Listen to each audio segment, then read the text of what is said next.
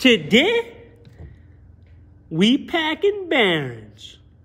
Lisle, part number 34550. Step one, fill it with bulk grease. They got a grease fitting right here where you could pump it up or you could just squeeze the tube in there just like I did. Step two, drop the bearing in there, small end down. Step three, go ahead and do this. Get that bearing centered up and push firmly. Step four, pull that off of that. Step five, take your perfectly packed bearing and spread that grease to them outer rollers. Because you know that inside packed deep, man. And that's how you pack a bearing the easy way.